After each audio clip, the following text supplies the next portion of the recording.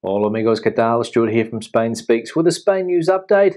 And the most nervous person in Spanish politics at the moment is opposition leader Pablo Casado because power brokers of that party are calling for his head. But more about that in just a moment. Firstly, a big thanks to all of the people that left comments on the last video. Lots of comments, lots of debate happening there as usual. Thanks to people that supported the channel through a donation or by buying me a beer or a coffee. Many thanks for that. Thanks to people that bought merchandise, and a big thanks to my patrons on Patreon for your continuing support. Now, let's get into the news. And as I said, the most nervous person in Spanish politics at the moment is opposition leader Pablo Casado. Three and a half thousand people turned out yesterday in support of his nemesis, Isabel Diaz Ayuso, and now party power brokers are calling for his resignation, but he's trying to hold on to power of the party. And as we can see here, Pablo Casado holds out despite growing pressure from power brokers for him to step down. The unusual demonstration in front of the PP headquarters against Pablo Casado, which brought together 3,500 people on Sunday, according to the government delegation in Madrid, who chanted slogans against the popular leader, has further convulsed the PP, the question running through the main opposition party is whether a leader can survive a divorce with a part of his base, the one that supports Isabel Diaz Ayuso, who gathered at the national headquarters to demand the resignation of its president. Despite the intense pressure he is under, Casado believes he is in a position to hold out. His intention is to resist. Some main opposition party leader, Pablo Casado, under severe pressure to resign. And I don't think he was expecting 3,500 people to turn out and start abusing him in front of party headquarters in Madrid. But it's not surprising either, considering how fanatical some people are here when it comes to politics. Now, the internal crisis in the Partido Popular has been good for other political parties here in Spain. For example, the Socialist Party, because the heat has been taken off them, and also for right wing party Vox, the main challenger on the right side of politics here in Spain to the Partido Popular. And as we can see from this headline, the PP crisis sinks Pablo Casado and boosts Vox. The crisis that the PP is going through has sunk the party in the eyes of public opinion. Sigma DOS has updated the February edition of El Panel to reflect the earthquake of the last few days, and the verdict is devastating for the PP. Pablo Casado has lost his leadership, the party is suffering a huge loss of voters, and Vox is soaring and for the first time disputing the PP's leadership of the right and the opposition to Pedro Sanchez's government. The analysis of the monthly polls of vote estimates carried out by Sigma DOS for El Mundo concludes that Casado's leadership has lasted little less than a year. So we'll see this week whether Mr. Casado can hold on to his position or will he get the boot? And as we saw in that article, worrying times for the Partido Popular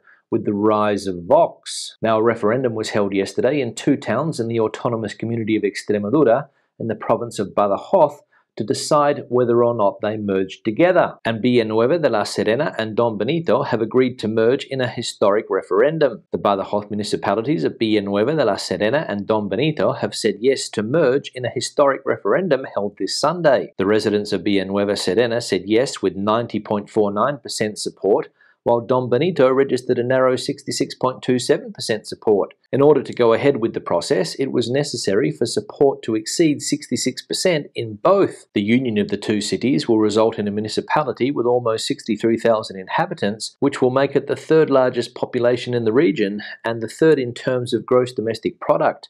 However, this merger process will not become a reality until 2027. So both towns getting a majority of voters saying yes to that merger over 66% of people voting in favour of the merger in both municipalities, even though one was at 90% and the other was just over 66%. But nonetheless, an overwhelming majority of people in favour of those two towns joining together. Now, the nuclear energy debate here in Spain is making headlines again, and according to this headline from News, most Spaniards believe nuclear energy is unsafe and do not want a power plant near their home. Most Spaniards do not trust nuclear energy. This technology, which provides just over a fifth of the country's electricity, is considered unsafe or not at all by 51.6% of the population, according to the GAD3 survey for News. In contrast to this, just over a third of Spaniards have a more positive opinion. Some 22.2% of those surveyed considered it to be fairly safe, and another 12.2% rate nuclear power, which until last year, when it was overtaken for the first time by wind power,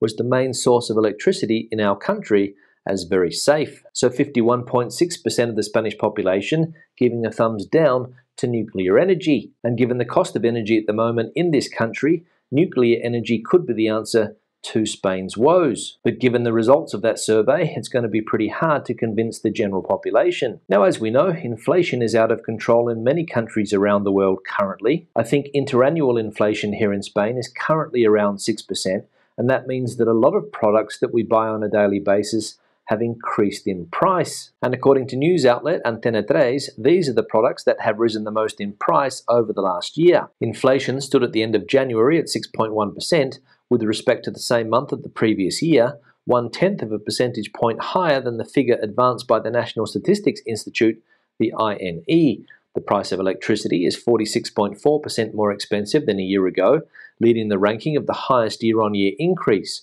Oil follows electricity and costs 30.1% more. Diesel and petrol have also risen by more than 20%, by 25.7% and 23.1% respectively.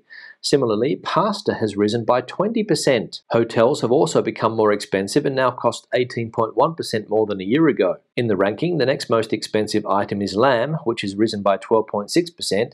It is followed by natural gas 12.1%, flour 10.6%, bank charges 10.6%, and finally fruit 8.8%. So bad news for spaghetti lovers here in Spain, with the price of pasta up 20% on a year ago. Now let's have a look at a summary of the health situation in Spain and we can see the accumulated incidence rate now down to 919. Hospital pressure remains at medium risk at 7.8% and ICU pressure is also at medium risk and now sits at 13.8%. Now, not only are prices going up here in Spain, there's also a chronic worker shortage. And as we can see here, worker shortage jeopardizes Spain's EU funded recovery plan. When Spain's decade long housing boom spectacularly bust in 2008, some 1.8 million jobs vanished, and a nation littered with cranes and building sites slid into a brutal recession. Now those construction workers are urgently needed back. An unprecedented labour shortage is jeopardising multi-billion euro building and renovation projects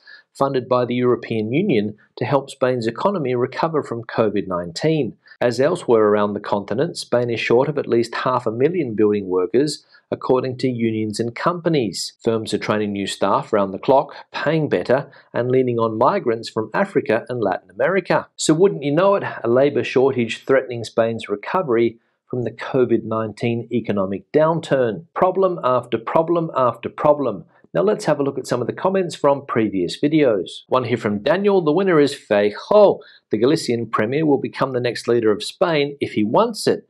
Ayuso and Casado cannot lead the country. Unfortunately, all these young leaders are showing they are not fit for the job. Yeah, Daniel, thanks for the comment, and you could be right. Mr. Feijóo, the Galician Premier, could become the new leader of the Partido Popular at a national level. As we know, it's going to be difficult for Pablo Casado to continue as leader, and it's also going to be very difficult for Ms. Díaz Ayuso to continue in her position as the Madrid Premier, given those corruption allegations related to her brother. So some interesting times ahead for the Partido Popular, but Mr. Núñez Feijóo in Galicia does seem like a safe bet going forward for that party. One here from Mr. Grimsdale. Did you call people stupid who declined the influenza vaccination? Similar mortality rate of 0.03% in the past. No, because you're an hypocrite. Yeah, Mr. Grimsdale, thanks for the comment. And just a quick grammar lesson. We don't say an hypocrite, we say a or a hypocrite. And this all relates to something that I said last Friday when I called two Spanish actors desperate and stupid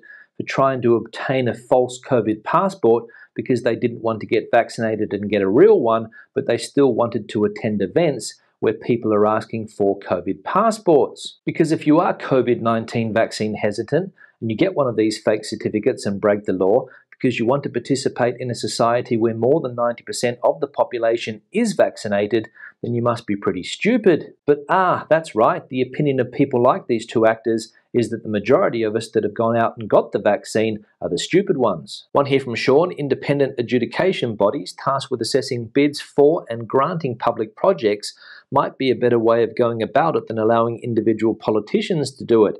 If these bodies already exist, the problem and curse of corruption run deeper. Yeah, Sean, thanks for the comment and obviously referring to the contract scandal that is currently engulfing Madrid Premier Isabel Díaz Ayuso. As we know, last week, Ms. Díaz Ayuso's government was accused of giving contracts to companies with which her brother has a relationship. And on Friday afternoon, I think it was, she admitted that her brother had indeed received commissions from these contracts. She said that everything was legal and above board and doesn't understand why people are talking about this. And now the question is whether or not it is ethical for family members of politicians to be involved in government contracts. I don't think that it is, but supporters of Ms.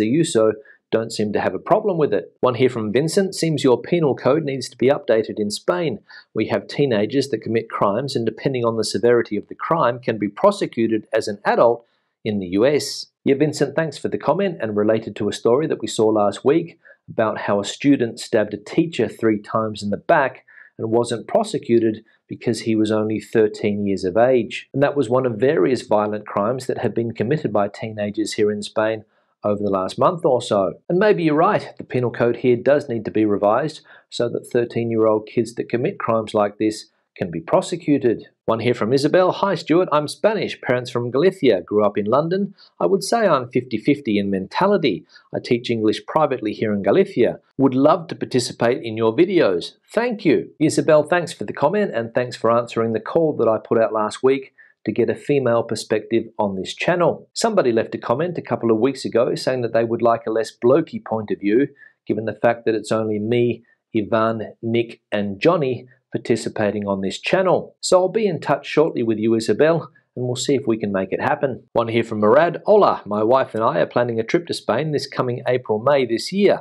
We plan to be in Madrid, Valencia, Granada, and Seville. We'll be there for five weeks. Love your videos. Yeah, Murad, thanks for the comment, and I hope all goes well with your upcoming trip to Spain. And the areas that you mentioned there, Madrid, Valencia, Granada, and Seville, should be fantastic at that time of year. But you might need to bring an umbrella because, as the Spanish saying goes, in abril, aguas mil. And finally, one here from John, miss your jerky dog. Yeah, John, thanks for the comment, and not sure what you mean by the word jerky there. I suppose that you mean that she's constantly moving around on the couch behind me, and that is normally the case. But as you can see, she's very relaxed at the moment. I've got her booked in for a haircut this week because as you can see, it's a bit out of control at the moment.